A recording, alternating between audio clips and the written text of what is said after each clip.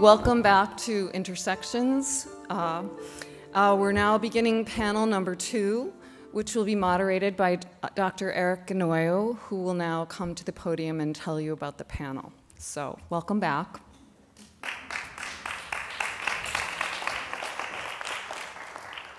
So, uh, panel two, uh, we now want to open up the discussion to questions of uh, the relationship of um, the city to uh, our concept of nature and the role that, uh, that technology can play in mediating and kind of reinforming that relationship. So, uh, we're all familiar with the kind of ecological problems and technological opportunities that uh, are faced by the contemporary city and that the city kind of creates and conditions around it. We talk about them all the time.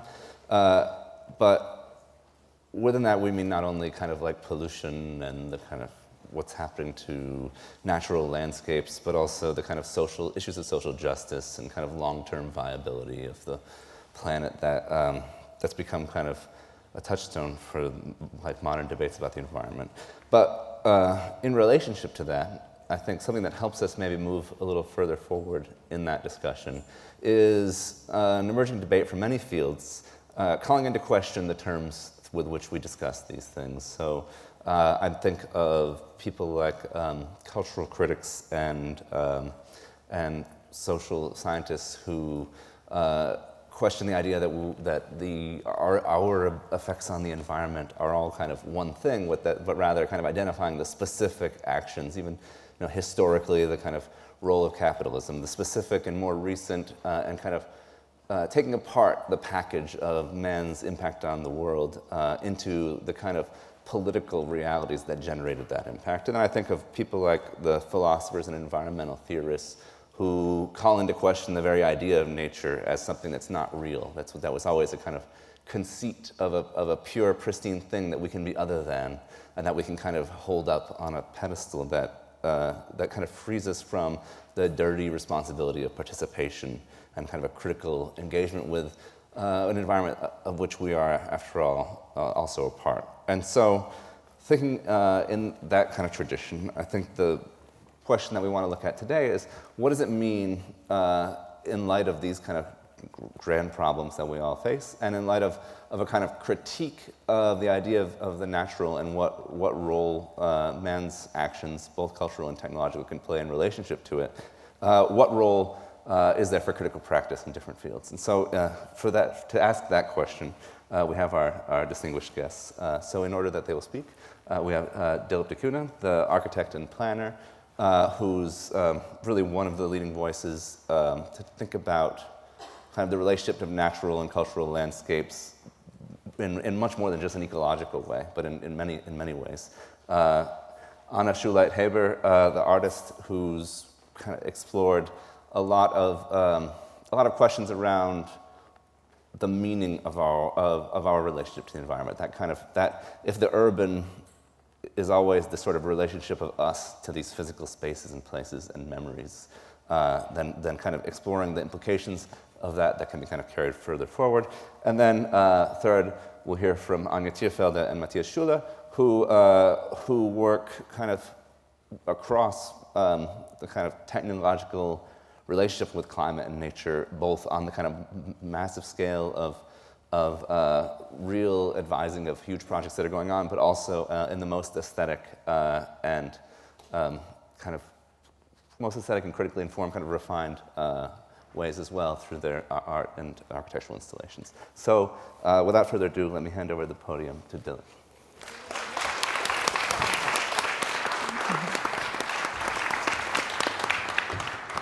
So thank you very much, uh, Erik, and thank you for inviting me. Um, uh, you know, when we see water doing what water is doing today, I think it is time to not just think differently. It's not just time to, to see things differently. I think it is time to see different things. So I'm going to make a, um, sort of lay out a possibility, I mean, perhaps a bold possibility. I'm going to posit actually the possibility that we have got nature wrong to begin with, or perhaps we have got the wrong nature. Now, I'm going to share with you actually two projects that you see here on the left and the right. Uh, projects, each opening the possibility of a different nature. Now, I will, it won't follow this structure, but if I, if I just move to the next slide, what I'm going to do is actually I'm going to have convention on the left and I'm going to have possibility on the right. You know. So first, Bombay. You know, I know Suni sort of pointed out the fact actually that, you know, that Mumbai is associated with the Shiv Sena and it has, you know, sort of cultural connotations. I mean, the way I'm using it, you will see, is, is, is the possibility that maybe we can see a different place.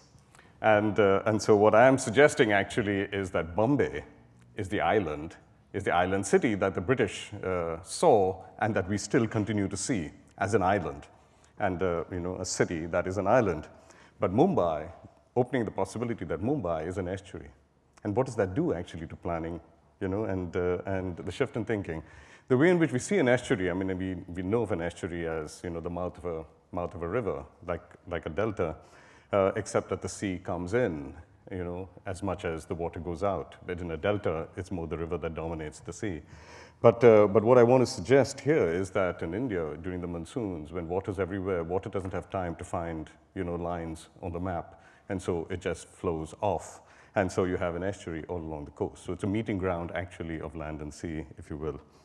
Um, so on the one hand, you see in plan, and you see in plan, you draw a line. I mean, and that is what, and that's how you got the coast and the coast is actually solidified actually into the strong line, as you can see actually in this trajectory uh, of maps. Uh, on the other hand, an estuary is open to the sea, and so it calls for seeing in section. It calls for seeing depth. It calls for seeing actually in time. So there's a rhythm actually as opposed to this, you know, divide. Um, so on the one hand, you know, we have marginalized the sea, you know, by drawing that line, you know, and so you have, you know, you have land and sea. But then you've also marginalized the monsoon, because then the monsoon comes as a visitor, visits land, and goes on. You know, that's the way we see it. So this is a place where I would like to see the monsoon as a resident, not as a visitor. So what does it mean, actually, to shift our, our mindset to an estuary, actually, that is home to the monsoon, and not actually the place, you know, for the monsoon to be a kind of, you know, an annual visitor, because in, in that particular role, actually, the monsoon is becoming more and more you know, a kind of enemy, and you're waiting with anxiety for the monsoon because it brings flood. That's what it does. Then on the one hand, I mean, the convention actually suggests that when viewing in plan, you see land use. You know, you see land use, you see land divides, and so the island that you saw there becomes the smaller islands, and then it divides into smaller, smaller places, and that's how you plan. Planning is in plan, you know, and so, you know, it's not just foresight, it actually comes with a particular perception and reading of ground and terrain that may stem from geography, but then perhaps geography is problematic to begin with. So what happens actually when you see in section? And you begin to see actually that there are practices. You don't see land uses, you see practices in time. And so when you get the boat pulled up in the monsoon, you get, the, you know, you get activities in Bombay that operate actually on the basis of time, not on the basis of space. Um, and so that's what you see in an estuary. Um, at least I want to suggest that that's what you see in an estuary. So what you have actually are two paradigms. On the one hand, you have a flood, you know, and drain paradigm, where you're actually draining water off the land because that's the divide that, you, that you're educated into, because you separated water from land, you know, flowing, draining, etc., flooding. You know, so flood is nothing but water crossing a line that we're drawn. Flood, if anybody tells you is natural, don't believe it. It's not. It's drawn, water crossing a line that has been drawn. So it's not about where you draw the line. It's the fact that you do draw a line. On the other hand, you have a whole soak paradigm, you know, and an estuary actually where water is held. And so when I hold rain, uh, you know, it's a very different, different way of actually seeing. I don't see flowing. I don't see draining. So I don't see rivers. Actually, I just see rain. You know, it requires actually a certain dryness to see rivers. And I want to suggest, I think I'm just going to pass over this because, I mean, this is what, what happens actually in a, in a, in a project uh, where, you know, when, when possibility defies convention, we define, we, we look differently, we see differently, and we, we draw differently, and then we appropriate ground differently. I won't have time to actually spend on, on the details of this project, but, uh, but you will find it in, uh, you know, in, in various uh, articles. Uh, but working by anchors, holdings, you know, things that live lightly actually in a ground in an estuary rather than this planning, uh, master planning that just fails again and again. So if I had to generalize from this paradigm now into, into, into uh, to what I really mean, actually, you know, perhaps more universally, I would suggest that, taking Paul Klee's cycle, water cycle, that we have actually chosen on the left by convention to inhabit one particular moment in time in the hydrologic cycle when water can be held in a place. So it's, a, it's, a, it's the realm of flows. So if I, to, if I to look at the water cycle actually as, precipit as going this way, you know, the flow formation, evaporation, cloud formation, and precipitation, you have actually chosen, we have chosen this moment actually to construct our reality, and we have made all the other moments of water ephemeral. And so, the, so rain is a visitor, snow is a visitor, you know, and they're not residents. I want to suggest actually that, you know, that there's a possibility of actually changing the moment in time in which we construct reality, in which we construct nature. So if, if rivers are not natural, perhaps rain is. Um, and, uh, and then, you know, you get a completely different ground. Um, so what does it mean actually to design with ubiquitous wetness as opposed to the land-water divide? Uh, and uh, would that suggest actually a completely different set of disciplines actually by which we learn a different, uh, a different understanding uh, of, uh, of the world, really? Um, so this I suggest actually for the ground of the monsoon, but I also suggest that it is a possibility actually across the world that we choose a different moment in which to construct reality and to make you know, other moments ephemeral. Um, how much time do I have? Uh, oh, it's here. Okay, I do have time. Uh, so, so on the one hand, what I'm suggesting is that, we are, that our nature is by choice, that, that nature is not a given. And that, and, and, and to, uh, this, is, this is a subject actually of study for the last five, six years now, and uh, it's turned into a book that uh, suggests that rivers are inventions and, uh, and that they have been made over the years actually by a, by a literacy that has separated water from land that cannot be assumed to be natural.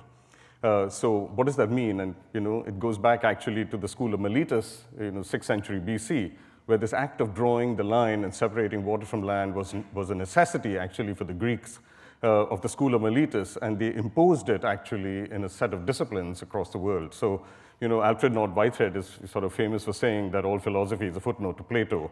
But then if you look at what Plato was a footnote too. actually you'll find that they, he was a footnote to the school of Miletus and their laying out of an earth. So material actually came before philosophizing, uh, if you will, if I can dare, you know, sort of make a, make a kind of claim there. Uh, so, so, uh, so what I'm suggesting over here is another moment, another time, you know, and another nature. Um, just to give you another project uh, in uh, Virginia, coastal Virginia, we're working there actually on the coast. So here I want to suggest actually that on the one hand, you know, you have a coastline uh, where, you know, the water's coming. And we have I've been in a community meeting actually where people have been, you know, to a drumbeat saying, water's coming, water's coming. Because it is coming in Norfolk, they feel the sea is coming in. But that's because we made the sea an outsider and an enemy. Uh, so what is this paradigm that has actually constructed this, that, you know, that people have this rising fear uh, of, uh, of the sea. Um, and I want to suggest, actually, there's a whole other way of actually looking at this place uh, at Norfolk. Uh, and I'm, I'm really looking at, uh, well, tide, you might know it as Tidewater Country, uh, which refers to actually the whole of the southern Chesapeake. Um, so on the one hand, you have a coastline that has been drawn, you know, and it actually was drawn only when, you know, the Europeans actually arrived here. You know, it was a series of frontiers, actually, that came that came across and then went across the United States. But it was always a line that began with the east coast of the United States. And the further you went, the more reinforced this line became, actually between land and sea. And so there are only two choices then one has uh, over here, and that is either attack the sea or defend, or retreat, I should say, defend against the sea or retreat. So they're talking about levees, you know, they're talking about you know, the mouth of the Chesapeake with gates and you know, all kinds of uh, ideas like that. Uh, or, you know, as somebody told me in, in uh, this thing, said, oh, I've got a solution for Norfolk, you know, take all these people and put them in, in, in West Virginia. You know, I mean, so that sense of actually the, the retreat following this thing is, uh, has its own uh, sort of absurdities. But what we suggest is turn the coast. You know, instead of looking at the line this way, look at the line this way. I mean, you know, turn the point, I should say, look at the, instead of joining the points like that, open the points this way so that you allow the sea in. And then what does, that, what does that mean? I mean, you get a completely different paradigm. So here you have barriers and gates and retreat, and there you have high ground and low ground. So water doesn't actually flood, doesn't cross a line, water just rises and falls. And that's the way actually the Indians lived in the, in the Mississippi, or the Native Americans lived in the Mississippi, as opposed to this one, where you actually then have a levee and you live across the line. But this goes into all deltas, and it goes actually to the coast as well. The way you, so you have a paradigm, actually, of fingers of high ground, what we call fingers of high ground, and on this side, you have you know, levee systems like New Orleans, but you might be a little more intelligent today and actually divide you know, Norfolk into a number of bowls, if you will, so that if one floods, the other doesn't. But this is actually constructing risk. You know, and so, you know, what is, what is a system actually that one wants? Does one want to, you know, define risk in this manner or actually allow for resilience not to, not to take place? And in fact, I, I missed that slide earlier on. Uh, yeah, here, where we talk about two kinds of resilience. One is a recovery from disaster, and one is not getting to disaster in the first place. You know, and uh, it's difficult to actually argue that, but it's easy to design it, um, if you will. So, uh, so what happens here? I mean, this is um, just a project that, that suggests how this can be done, and we, we, we do it in two places. Uh, two sites. We've, uh, you know, what does it mean to turn the coast? How does one work with communities actually in order to do it? Uh, how does one do it over a, you know, like I always say, it's taken us 500 years to get into the soup. It'll take us another 500 years to get out of it. So, you know, why don't we start that actually structuring? But it, but it requires actually a completely different mindset and approach that goes down to actually the way we understand our disciplines. Um, so, so um, this just gives you a sense actually of how the project develops and, uh, and evolves over time and how we can, you know, sort of meet the sea actually in points like that as opposed to a line like that, um, and accommodate actually water treatment systems, you know, the sea. And, you know, there are many, many different ways by which uh, we allow this uh, meeting ground to occur uh, in, a, in a more open manner. You know, so you see actually the condition, existing condition here on the left, and you know, to some extent this is recovering what we have lost actually by the filling of our creeks and the destruction of high ground. I mean, Boston is a classic example, actually, of the flattening of terrain. And now we are doing everything to regret it now. You know that, I mean, what do we do to recover our high grounds um, and to recover creek systems that uh, were pooling systems, not flowing systems, pooling systems with fantastic ecologies, um, which, we can, which we can recover, you know, and, uh, it, but it means recovering low ground. And you can only recover low ground if you start reconstructing high ground. Um, so and I won't go into how we are doing it in Norfolk. There are many ways that, uh, that, uh, uh, that we can, and uh, we've established that possibility. But um, I think I've reached the end of my, my show here, and uh, this is, I dare to you know, take on Einstein a little bit here. You know, so I say that we cannot solve our problems with the same thinking. I mean, he said the same thinking. I'm saying we cannot solve the problems with the same nature that went into creating them. So what I'm suggesting is that we've got to start thinking of another place, another time. Thank you.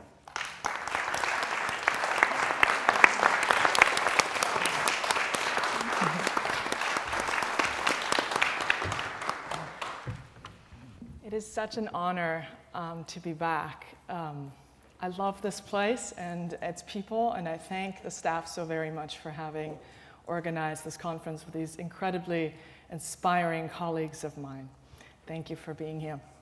Um, I am um, going to give you a glimpse of my creative process. Um, some of the projects that touch on urbanism specifically, and some that perhaps hope to expand the concept of it.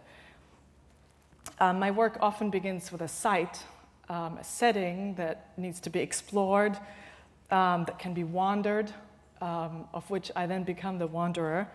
Um, they're public and not so public sites. Uh, I'm drawn to the more hidden um, corners of public life, the blurred edges of our communities, large and small. At the Rhode Island School of Design, I studied painting. And um, if you held a gun to my head, I would say that's what I am. I am a painter. But everything that I've done um, since studying painting and graduating as a painter has sort of uh, explored the edges of painting um, and wandered off into, uh, into larger media. I had to accept painting as a two dimensional medium and uh, wondered how that medium would relate to the surrounding world, um, its outside sources. So I came to my work as a pedestrian with the wish to somehow capture the enormous architecture I was interested in at that time as a young student, specifically psychiatric hospitals, through drawings and paintings um, from across the overgrown lawn. I recorded my walks, using them as my hand drawn record of my interaction with the site. Based on my interest in map reading and map making, they became a form of remembered orientation in space. And my first works were um, a failing of painting in that I realized there's really no reason to paint these buildings but to collect what's already there, what to, to, gather what's already there. And um, passing through each room uh, in these institutions, I would take a paint sample. Uh, it was all lead paint. So this is my walk through the building um, in linear terms from left to right. Um, and the larger um, boxes are larger spaces. The smaller ones, the square ones, are um, patient cells.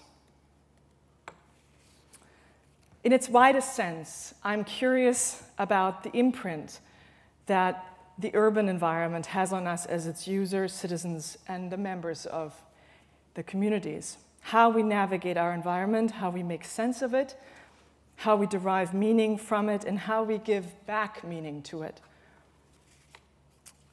I, um, I found this place uh, in outside Pittsburgh, uh, Pittsburgh, Pennsylvania. This is the Dixmont State Hospital, the center of it before it was torn down. And the oculus that you see there has, as Dorothea Dix, the reformer of the 19th century, said, one of the most beautiful views of North America. The French philosopher Gaston Bachelard described the motionless daydreamer as experiencing an immensity of being. He said, Immensity is within ourselves. It is attached to a sort of expansion of being that life curbs and caution arrests, but which starts again when we're alone. As soon as we become motionless, we're dreaming in a world that is immense. Indeed, immensity is the movement of motionless man. So, my first project, one that is, I think, a breaking away from urbanism, was a daydream to me, and um, it was sited here at this hospital, Northampton State Hospital, um, with its vast interiors, hallways that would allow a car to pass through. It was a large scale site specific sound voice performance at Northampton Hospital, spanning 414,000 square feet of connected space, using the hallways and rooms of the abandoned structure. Like the, instrument, like the insides of an instrument, a sound body, this was my first project that took me beyond the parameters of painting, clearly, and placed me in a more experimental and performative realm. It was a form of architectural dreaming without touching the building at all because sound lives in it and then disappears again. I was able to work with the entire building without moving an inch of it or uh, any of it. I realized that painting was not large enough, not inclusive enough. Sound was the only medium for me. I thought I could animate the entire architecture without disturbing it, interrupting it, reshaping it, or reducing it. So this was the setup. We um, strung um, thousands of feet of cable through the building and connected the entire hospital with itself. And this is the back ward. This is where patients used to be um, who were violent and often there for decades on end. And the sound was meant to be bounced through the building by bouncing it off a surface first. We didn't let it get out of the windows right away, but rather using the building to take on um, its color, its, its, um, its solidity, and changing the sound thereby. the, the sound I chose was Johann Sebastian Bach's Magnificat because I had been a choir girl and because I love that piece of music and because I remembered it every time I was in this building like a physical memory. It came back to me. So this is the solarium, it was called, in one of the, one of the easier units where patients had small freedoms.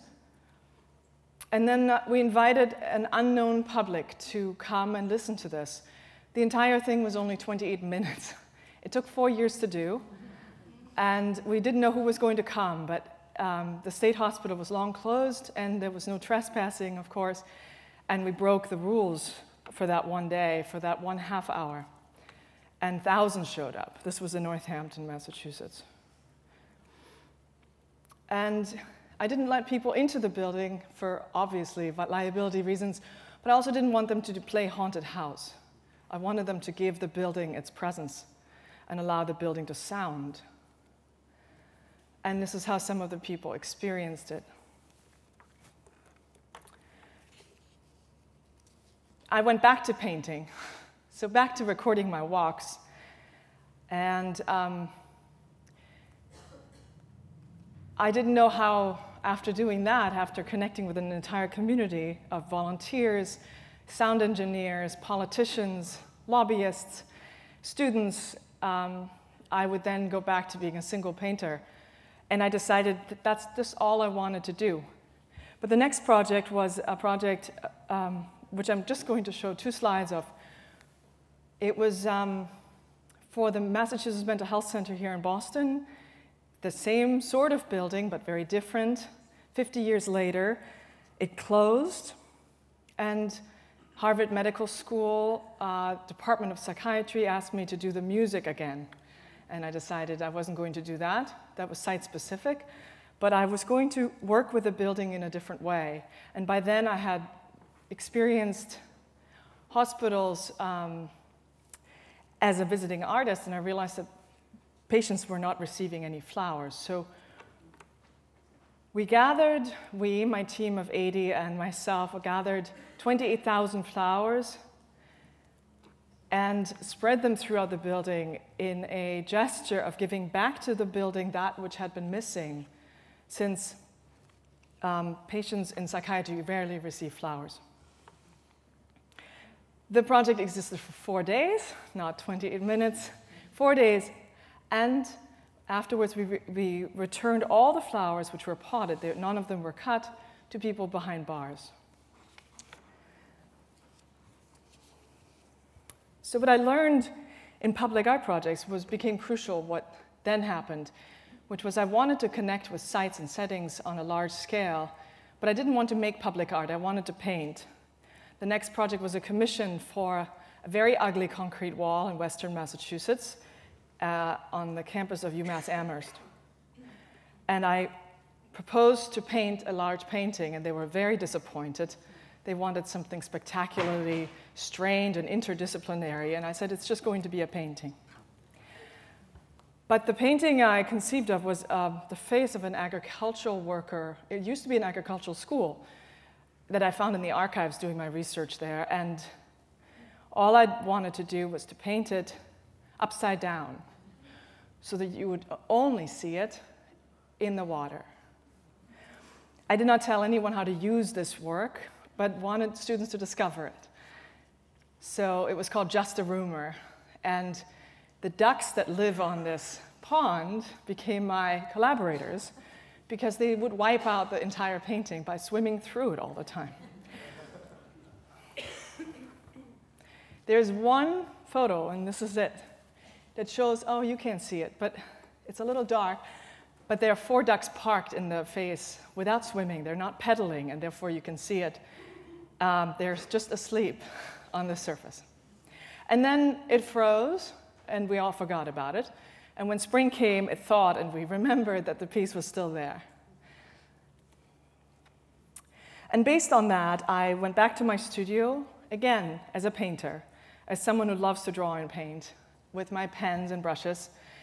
And I thought, what if I um, create works that work with that scale, but are using my most beloved medium uh, in another way. And I was offered by neuroscientists at Columbia Medical School to collaborate with them on a project that uses eye tracking technology that is attached to your pupil, so you don't use your hands at all to draw, but you use your eyes only.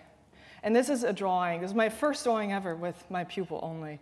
Um, a camera records where I'm looking, and each glance, every direction my eyes make is recorded, so I have to be very careful and slow. And this is a bicycle on the right side going downhill. you can maybe tell.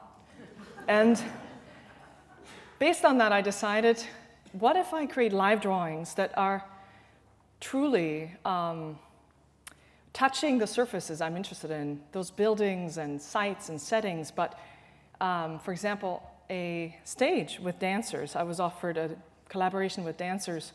This is a draft for it, and then this was the actual dance. The person, the dancer, had taken a break after a solo, lay down, and I was able to draw her a blanket of lines by using very high tech projectors in New York on a beautiful stage. And it was a live drawing performance. So that's what I'm doing now. I'm creating these drawings that happen in actual time. They're not canned, they're not video. This is, a, um, this is an eye tracking drawing that um, I conceived for the Cooper Hewitt Museum in New York. This is the facade of it. It was not realized because of budget reasons. But it was a drawing I did with my eyes looking at a Man Ray photograph that you all know with the eyelashes and the tear. Um, and the straight lines that come off it are lines that are made by my blinking. And most recently, this, these are smaller scale but still wall sized um, live drawings transmitted from New Orleans to Hanover, New Hampshire for the Dartmouth Biennial. Um, every morning, I made a drawing that was wired over to Dartmouth and it was projected onto this wall very slowly. So these are drawings created for that wall in my absence by me um, in a different state. And we did 90 of these indoor drawings, one every day, and then 12 for the outdoor courtyard of the Hood Museum. So here's one of them, and here's another. And another. This is a goat, of course, and this is my last slide for now um, a drawing of a hand, created live, so it is moving. Uh, so this is just a still of that, touching the surface of the Hood Museum's back. I am so grateful to have been here. Thank you so much.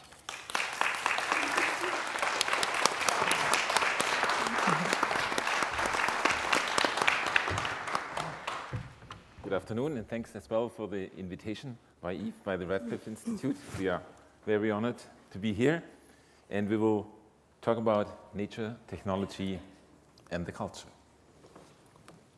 Okay, our panel is called Beyond the Nature and Technology Divide, and my first thought as an architect uh, hearing this title was if, if there is a dividing line between nature and technology, uh, jumping over it is a typical behavior for people who have the profession of my husband, for climate engineers.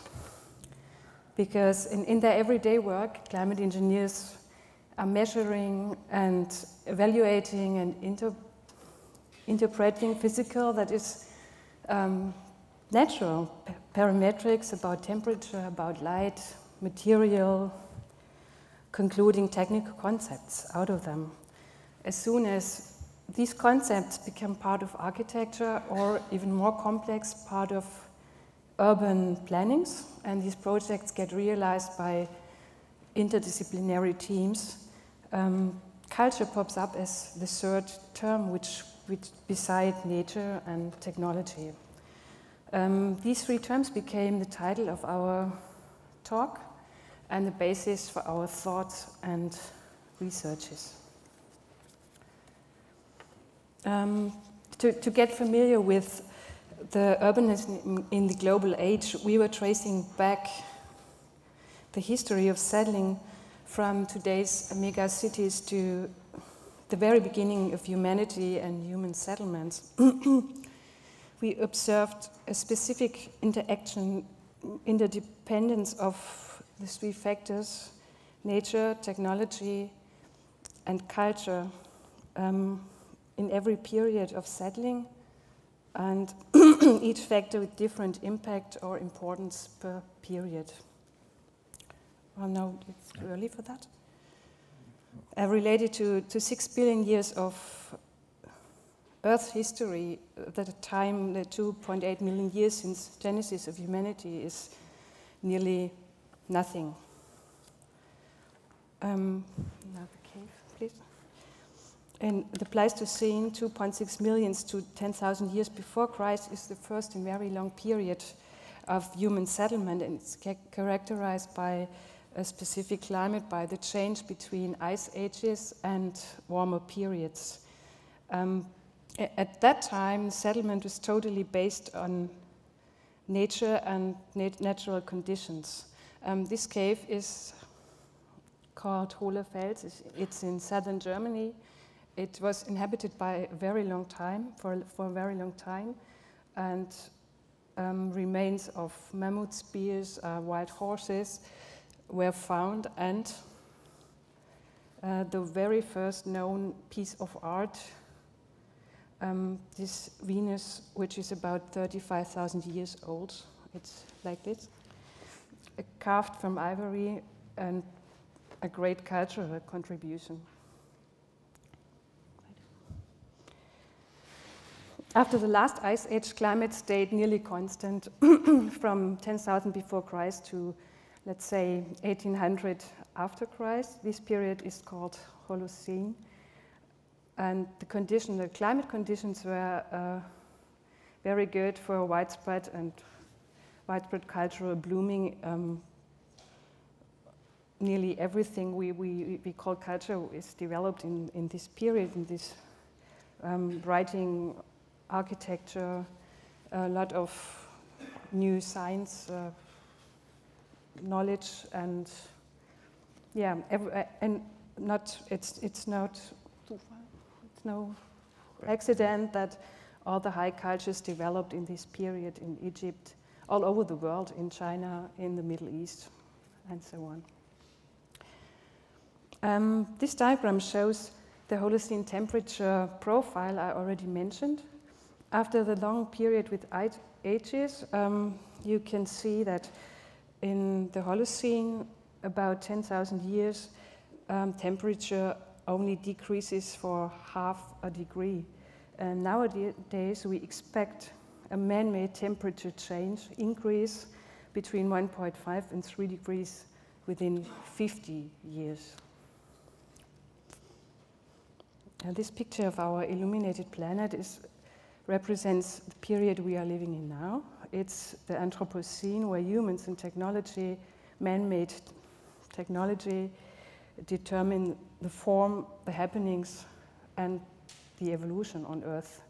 Every light spot represents a city, a big city, and the light pattern as a whole, for me, gives an idea about all issues of global urbanism, about population explosion, about energy consumption, about density, about neighborhood if we are so close together and if we are so many, about um, the demand of land and food, about scale, about Heimat, it's a typical German word, about responsibility, identity maybe individuality.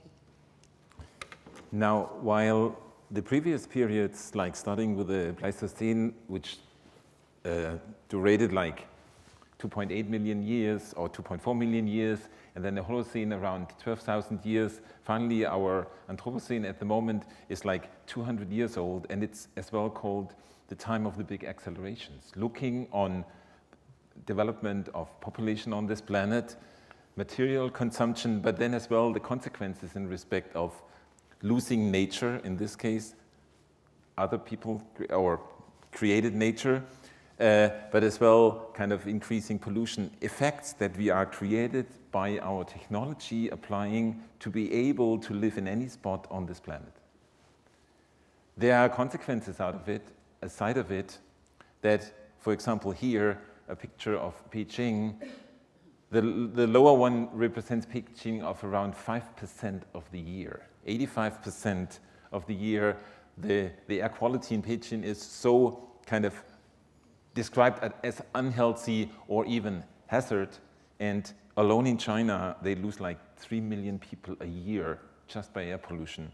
So in a certain way, it looks like by our technology and our kind of leftovers from our technology, we are kind of slowly poisoning ourselves. As a side effect, we know, and Anja mentioned it, kind of in, compared to the Holocene with 0.5 degrees over 10,000 years, we are now in this kind of 100 years increased already in certain spots temperature of this planet by 2.5 degrees.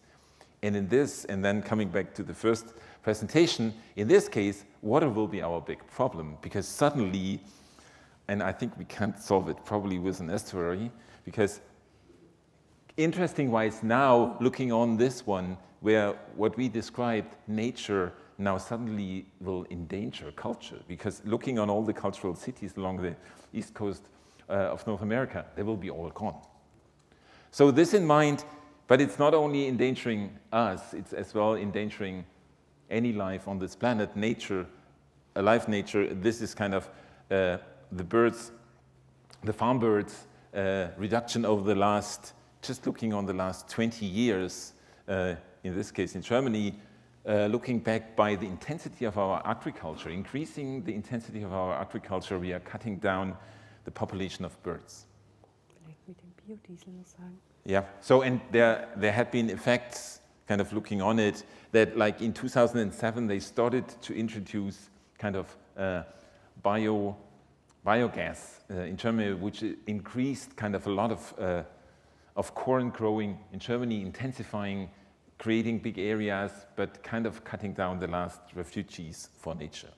Now what is interesting on this one, which describes the kind of the status of the habitats of the different ecosystems. Just looking on three of them, the ocean and the cropland and the urban. For the ocean, we don't, 85% of the species in the ocean, we don't know what is their status because we are quite, we, we unknown their habits. What is interesting now looking, comparing cropland and urban, and I think this is now quite interesting for our discussion on urban, that it looks like nature in urban can find niches to survive compared to intensive used uh, agricultural land uh, because there are no large, there's a large diversity in cities, in, in natural uh, islands in the city, there are no fertilizers and there's no hunting. yeah, these are the niches, um, which are, I'm, I'm glad to say that there are, there are a lot of them, and some of them are really almost unbelievable. These um, wild pigs, um, which live in Rome, I heard, and the biggest nightingale population in Germany is in Berlin. Um, the biggest hare population lives in Stuttgart city center. Pumas in Los Angeles, raccoons and foxes, I think, in almost every city of the world, meanwhile. um, well, what I found interesting is that animals that used to um, be afraid of people that they are coming so close. That's, this is a kind of adaptation, which yes. an, another example um, is are the storks.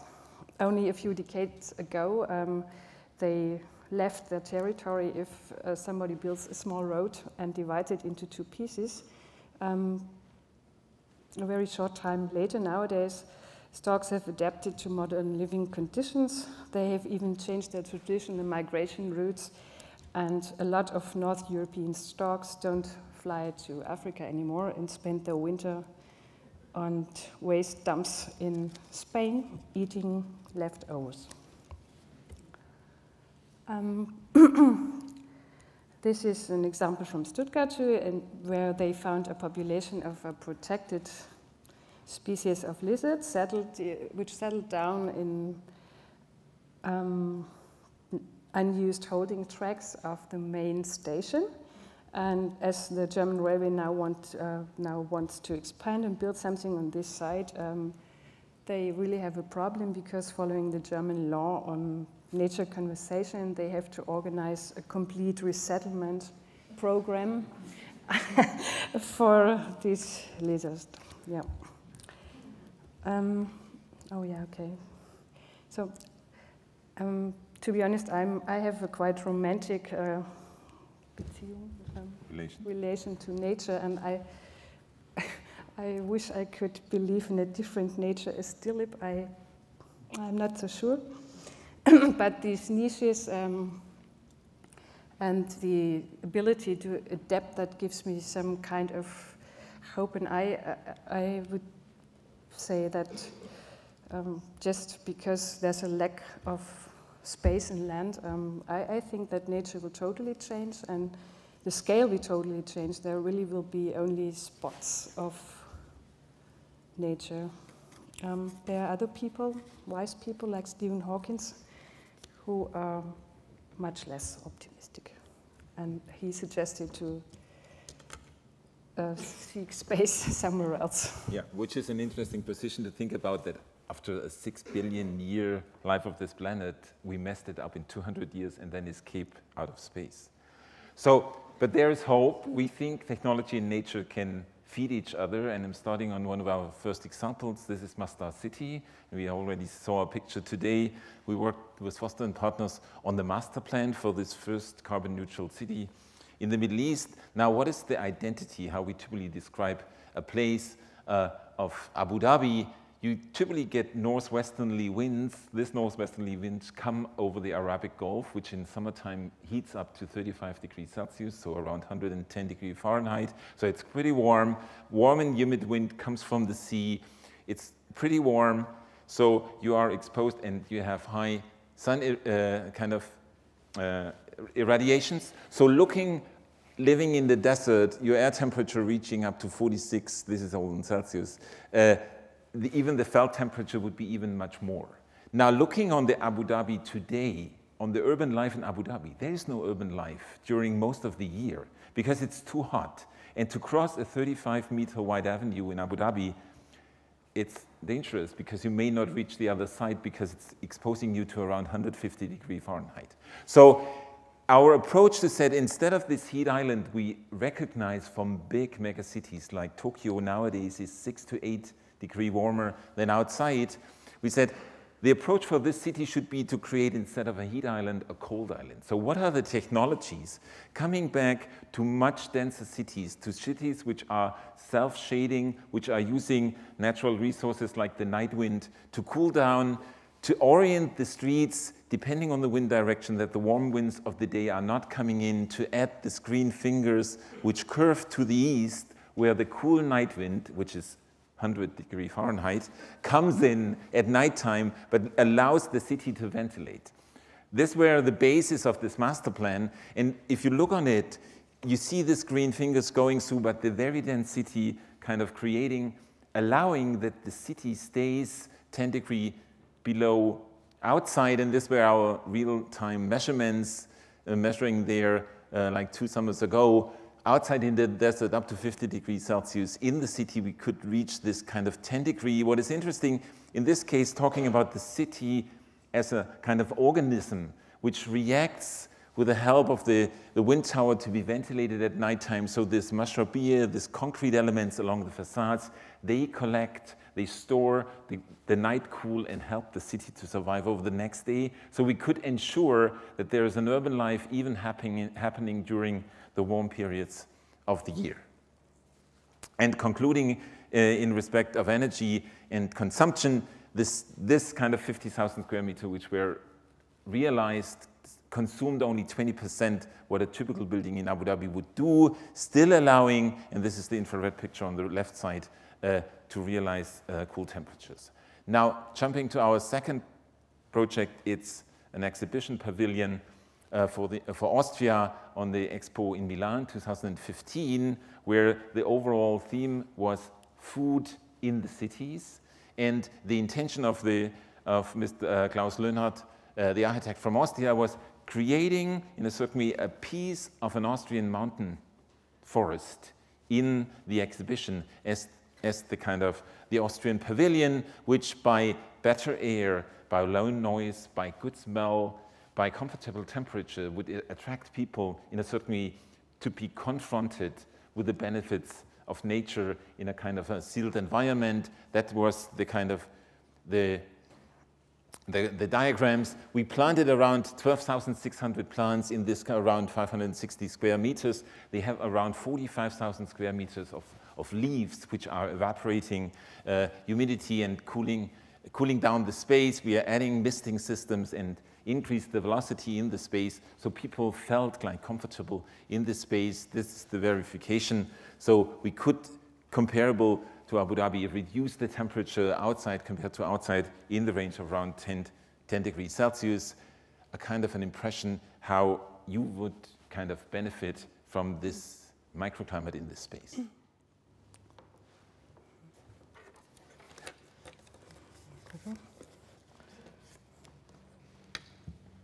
Oh, yes. Um, last year, Aravin, um, Alejandro Aravena invites us to participate at the Architecture Biennale, and which was titled Reporting from the Front. Um, many thoughts popped up, but uh, finally we decided uh, to do an installation about the power of nature.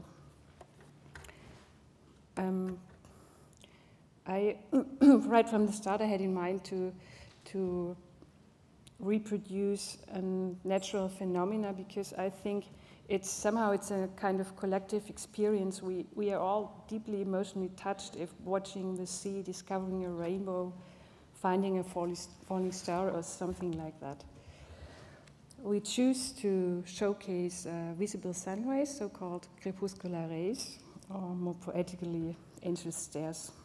Among others, um, other things because uh, there's a connection to a real research project Transsolar did for Jean Nouvel for the new Louvre in Abu Dhabi. Um, what we, we wanted to, to do an exhibit out of such a phenomena by moving it from the outside to the inside. Um, here in, in the Arsenale in, in Venice, and we wanted to um, yeah, just startle uh, these emotions. I'm really, because of time pressure somehow, sorry.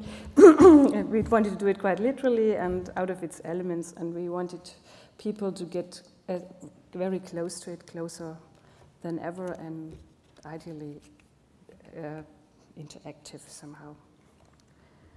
Um, in nature, these rays can only be seen if leaves or clouds are blocking the light and create a high contrast, a brightness contrast in the visual field.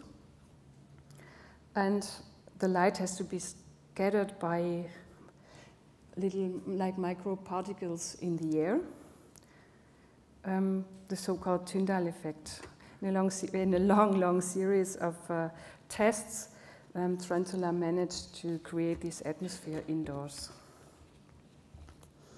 Um, despite converging on mostly every picture, sun rays are parallel uh, shafts of sunlight, and their that their appearance that they oh can you have anywhere they yeah it's it's just a phenomenon of the perspective of the observer that that we always think they are converging. Yeah, now people interacting You can just go on. And creating another bunch of, creating another bunch of, oh, okay. While planning this installation, dealing with the power of nature, and a lot of questions arose about the interdependence of nature and humankind and so on. We engraved some of them into a wooden plate um, of the installation.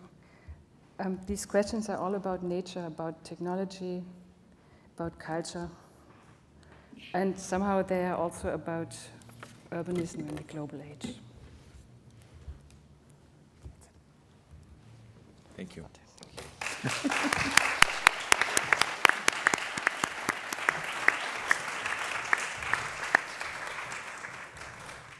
So thank you all. Um, I think just listening to the three presentations, it seems to me, uh, I was coming into this, I was kind of expecting this was just the this was the designer panel, like a design and art panel, and then uh, it turns out it's the wetlands panel, and uh, that there's like the, somehow the ducks tied everything together. But um, that what what what we hear uh, across the table here is um, very different kind of ways of, of elaborating the relationship between man and nature.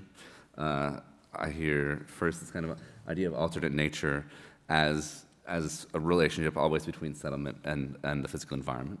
Uh, I hear uh, this idea of nature and technology together as both kind of observers and, and as participants in the kind of intervention in the, in the case of Anna.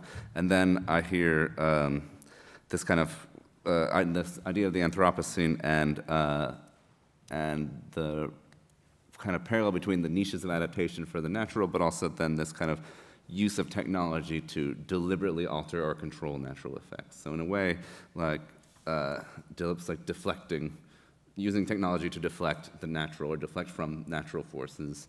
Uh, Anna's kind of forcing it into participation uh, with the kind of cultural and physical environments that are that are at play, and uh, and uh, Anja and Matthias are, are using it to uh, deliberately as a kind of tool to act uh, against or with these kind of physical forces. And so uh, within that, I, was, I, would, I would ask uh, first of all of you, um, is that kind of role of technology kind of calling into question the idea of nature for you? Or is it kind of allowing you to create a more like spec- specific or firm uh, concept of the natural in order to kind of build, build your own work from that? Is it a calling into question or is it a kind of a strengthening of a natural concept? I would understand it in our approach that it, typically we are using technology not to ignore, because this is the, the typical settlement in the Middle East is ignoring nature, that in Abu Dhabi you were not able to live because it was just too hot. So people migrated from Abu Dhabi to Al Ain in summer, lived six months in Al Ain in the desert, where it was the same hot but not as humid, and then in fall they came back for pearl diving to live six months in Abu Dhabi and migrate back. So they adapted, but by inventing the chiller, a technology, we kind of defined we are creating a city there where normally nature doesn't make it possible. So our approach was now understanding that we should not fight nature, but in a certain way support natural giving. There is this 30 degree cold wind, which can help the cities to survive even at daytime if we don't ignore and Abu Dhabi master plan is a 100% copy of Manhattan City to Abu Dhabi with 75 meter wide avenues where you are just roasted by crossing the street at daytime.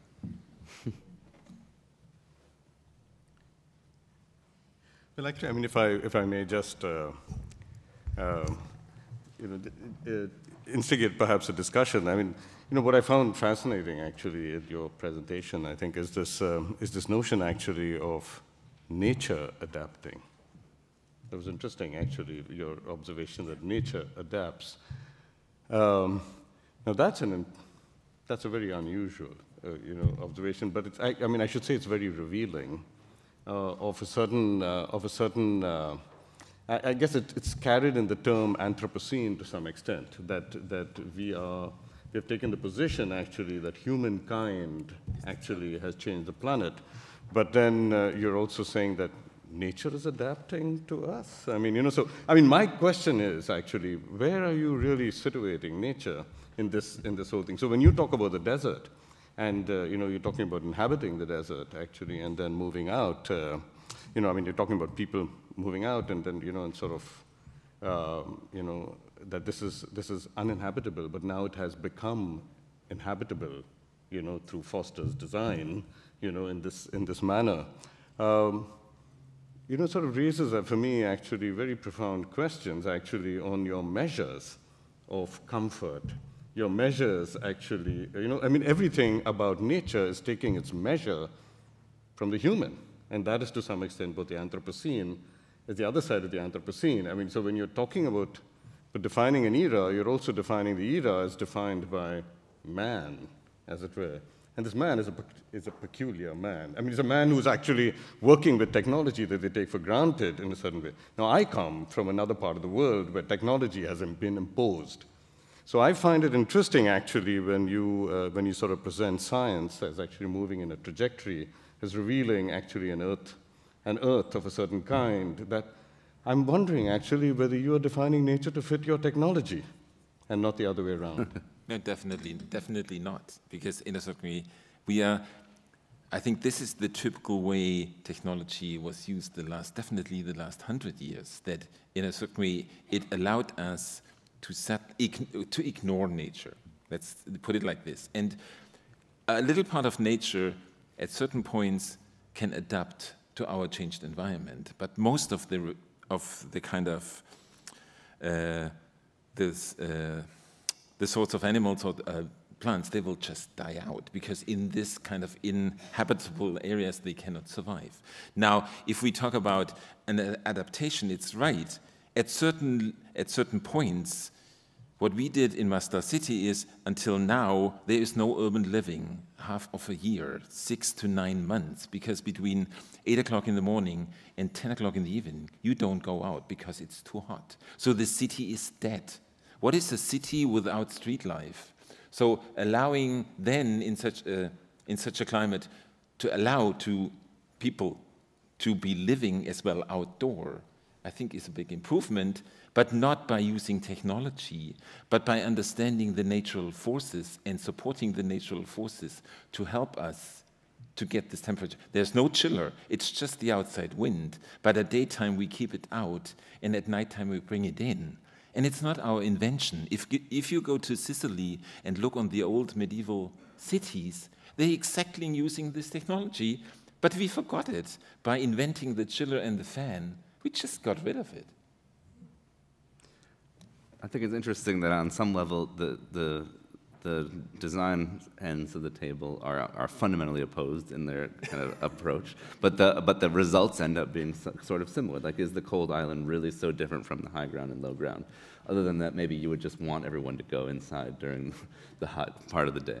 Uh, but up against that, I think Anna's approach is very different in that uh, you're freely deploying kind of you're freely deploying the, the natural or the non-human, the human, the technological. They can all appear uh, kind of one after the other because the actual ultimate question is, is about a kind of relationship amongst them all, but also to the end of understanding a public space that includes them all, including the non-human? Like, what, what would you say when you hear the kind of debate uh, here? Where do you feel like that your practice fits into this? I think I'm perfectly seated between you two.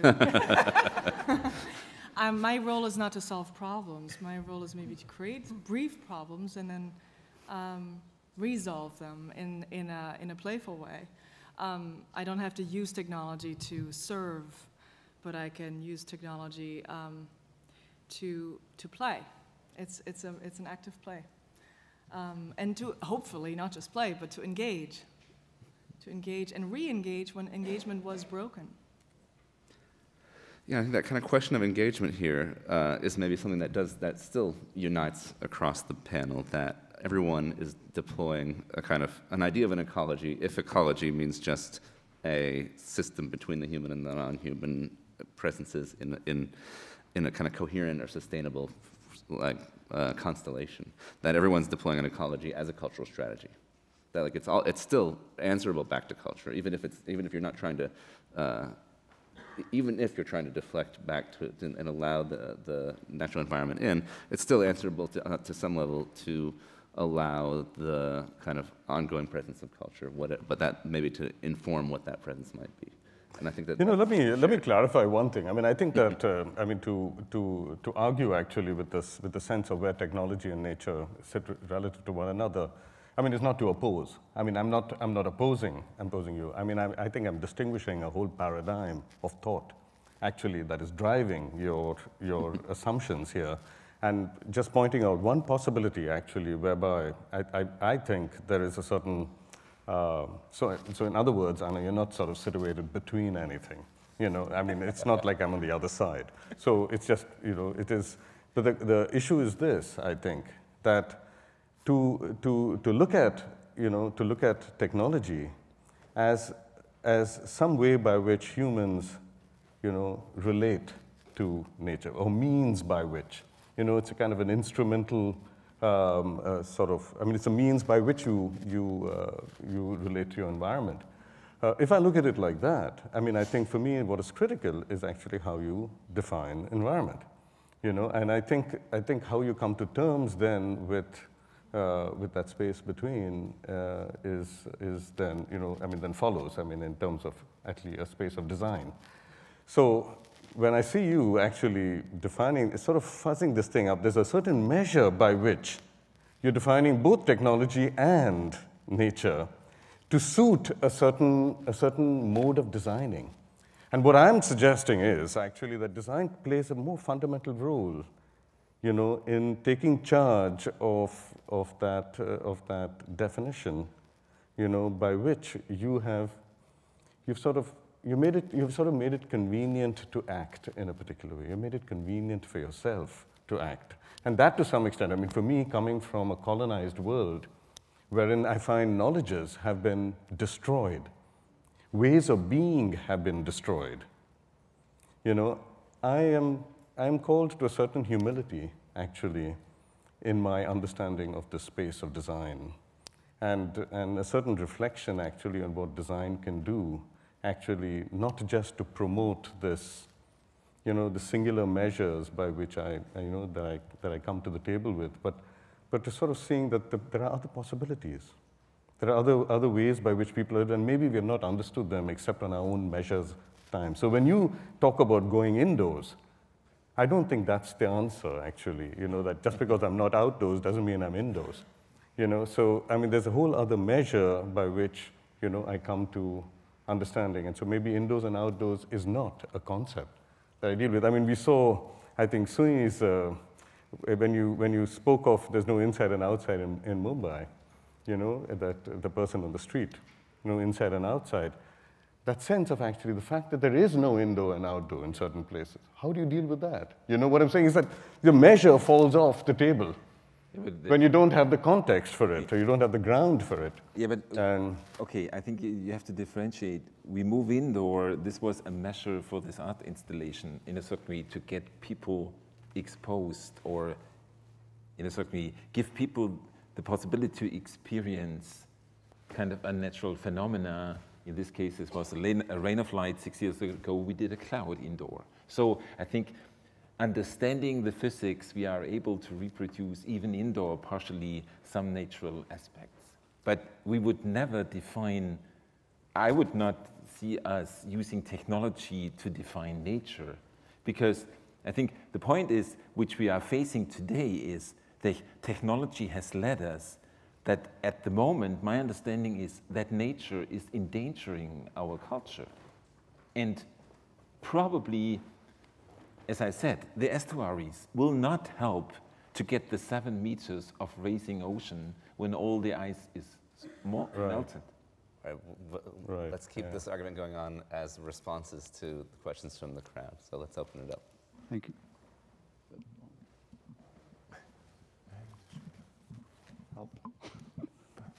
Can you hear me? Yeah. Okay. Um, funny, I, I, landed in Abu Dhabi. My name is Johnny Hasboon. I landed in Abu Dhabi on 4th of July, and they gave me a car at the airport, and I couldn't put my hands on the steering. So I, I, I immediately realized that this is not a habitable place. Um, and, and, but I was stuck there for three years. Um, but my question is that I think that between the paradigms that you're describing, I think the, you know, I'm, I'm a marketing background and usually we find out the success of a project is by the market. Um, so we let the market speak and then when we hear it, say, okay, did that work or not? And my understanding is Masdar is a complete failure um, thus far with the billions of dollars spent on it, thus far, so I don't know. Um, and my question is, do you feel that your the project, Masdar City, is a success?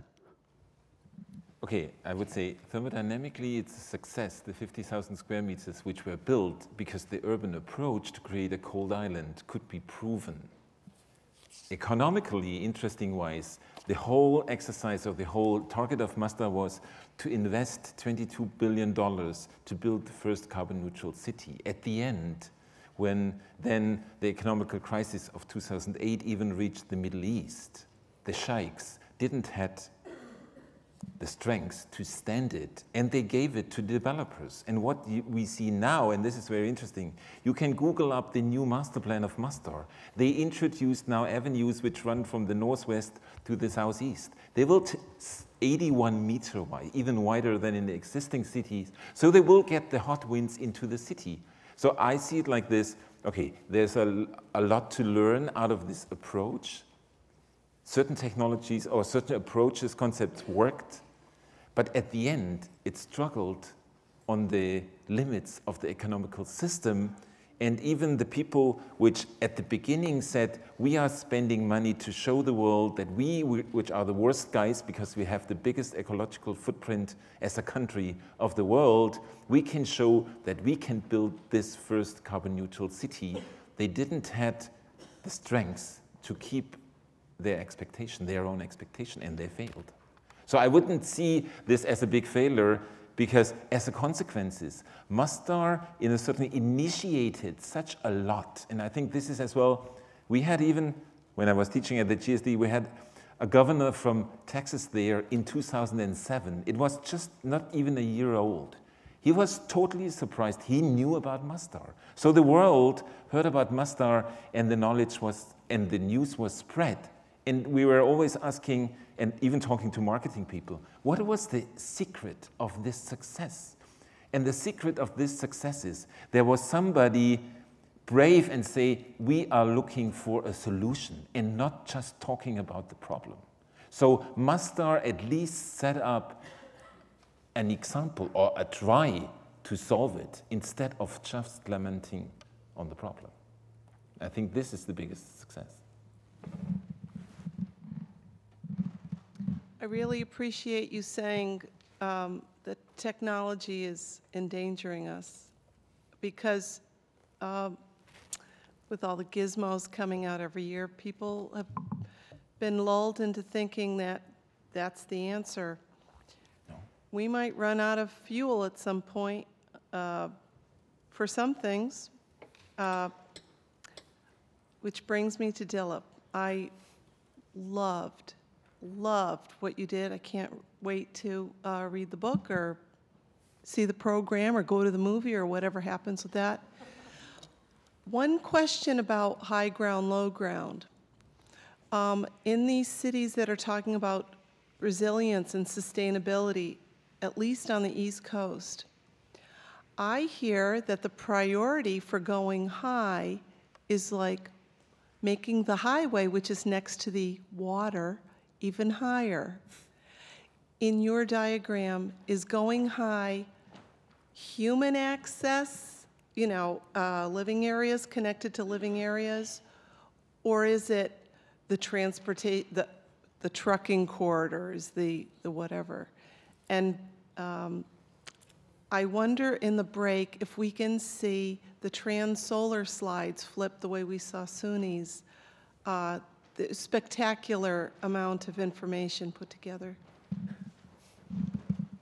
Um, you know, I mean, one of the one of the issues I think that uh, that come up with uh, with the fingers of what we call the fingers of high ground, in, in, you know, as a as a well, a solution. You know, I mean, I, I sort of hesitate to use that term, but as a as as perhaps an alternate as an alternate, uh, alternate approach, is that there is a particularity is a particularity to them, actually, depending on where they are, you know, that, uh, that defines. So the two projects that we did uh, in, in Norfolk, I mean, one was actually with the, with, uh, you know, in, uh, sort of next to the Naval Yard, I mean, it was, it was with the, the, you know, on the Elizabeth, on the Elizabeth River. So it, it was an infrastructural, it was a rail, you know, where rail meets, uh, where rail meets sea, as it were, you know, rail meets the Elizabeth. And so it, uh, it had particular conditions actually by which people were, you know, that you know, there was a treatment, there was a treatment plant over there, there was a, and we took on issues that were very particular to that. The, the treatment plant, when, you know, when there's a hurricane, for example, uh, they, you know, they sort of release sewage into the, into the ocean. So we said, why don't we design barges actually as extension of fingers to actually then also dissipate waves, et cetera, et cetera. You know, so there was, you know, so what I'm saying is that there's a particularity uh, to, to each finger. Uh, but that is actually, you know, on, on you know, the, the issues that we are facing, you know, from the, from the sea. But then there are community issues. You know, we found that in Norfolk, for example, that, uh, that the people actually living on the sea were not that endangered as people living inland because rain had nowhere to go. So the people who were, you know, drowning or, you know, I mean, people in danger of this thing were actually inland.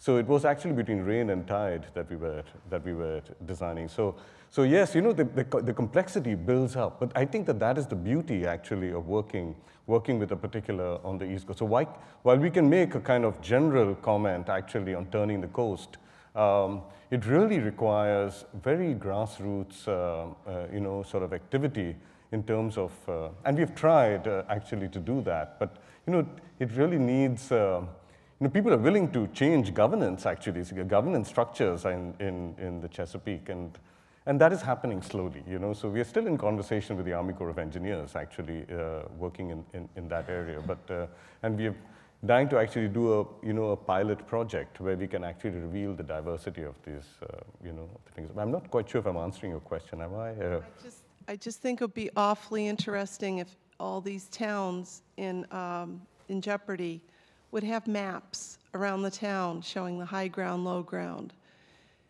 Unless people know what to, this is a different way of thinking. Although in New Orleans, they figured out pretty fast where the high ground was, which were the overpasses. Um, but it would just be a nice, it would be interesting to remap one's world into high ground, low ground. And Absolutely. it falls, it doesn't rely on technology, it relies on nature helping us, which is, uh, which is grade, uh, um, elevation. You know, can I take a little more time? I hope I'm not, I don't want to be uh, taking time from, from the others and if you feel.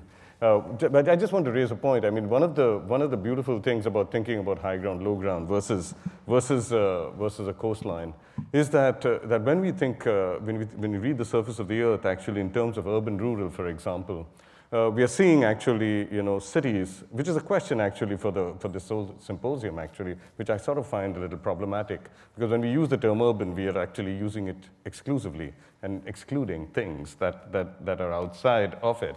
Um, you know, so when one refers to the desert, et cetera, et cetera, one is actually positioning it outside. And, and I wonder sometimes what one is positioning outside of the, of the city. But that reading, actually, where the city has been given a measure, to things is very different from a middle ground, for example. And so if I actually do maps that, uh, that work with, uh, with drawing the middle ground out as the agency with which we work, you get a completely different structuring actually of the surface of the earth, you know, as compared to the, the working with cities that you can then talk about as successes, which, uh, which is, I mean, to me, I mean, extremely problematic, but I don't want to get into that discussion because it all depends on how you define the problem in order to fit the solution. The solution, I think, one of the problems here is that if you look at the projections, there are maps, by the way, available showing what sea level rise would do to coastal cities, but yet money is pouring into Seaport or into Miami Beach uh, on the premises, I suspect that by the time the disaster hits in 2050 or uh, 2070, we've had our money. The original owners have sold it, but if you even can sell it. But uh, looking at the uh, heat issue, uh, if you look at the projections for the Arabian Peninsula with wet bulb temperatures, by uh, 2050 or 60, there won't be any cool winds coming off and the humidity range is needed. So trying to design on today's parameters, but ignoring 25 or 30 years out, let alone 50, 100. At one time, you could walk from Boston Light uh, all the way out uh, during the glacial uh, maximum, all the way out to uh, the Georges Bank. Uh, three, 70 meters is a lot to overcome, and you're not going to do it by trying to imitate uh, Dutch technology. Uh, it'll buy a few years, but that's all it's going to buy. So I guess my question for the panel is, what are we going to start looking at reasonable uh, projections uh, rather than sort of work on these very narrow time frames of 20 or 30 years and ignore the fact that it's going to be a lot different by the time I'm dead and, well, everybody in this room is dead, but our children and our grandchildren will have to face a whole different world. I would say we are looking on the next years because politically the decisions we do the next years, they will determine the next 15, the next 100 years because the time is so late that our decisions are so critical that expecting that this might be solved with the technology in 10 or 15 years, that's too late because, and I think this is the dangerous kind of performance or habit of climate change that you don't feel it before it really strikes, and then it's too late because the system is so big. So, and this is nature. So this is then, again, we back to the discussion that in a certain way, we messed it up. And the question is, are we able to bring it back to a certain performance? I think the planet will survive because it survived other waves of temperature. The question is if the human period will survive. All right, I think we can start wrap it up at that. Uh, no, uh, yeah, please.